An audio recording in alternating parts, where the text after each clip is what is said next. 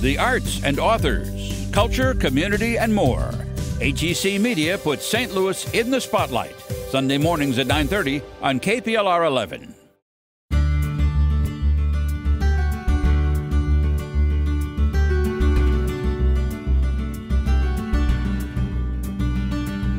I'm Kristen McMillion.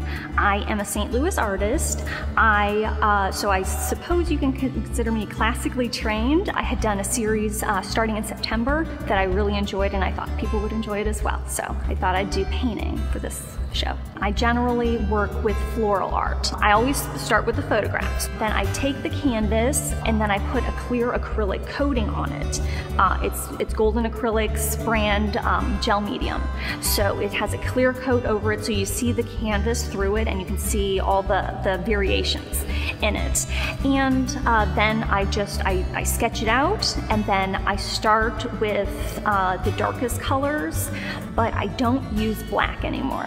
For a long time, I used a lot of black in my paintings, and I would start out with that, with the black and the white, but actually don't use black anymore in these series of paintings. So I use lots of purples and blues and greens, like a lot of phthalo blue, phthalo green, and then trying to get the lightest lights, like warm, warm whites. So I just thought I'd play with different colors, different softness and sharpness. I like a lot of softness because it's more playful and fun. So, and I think maybe that, that differentiates me from others.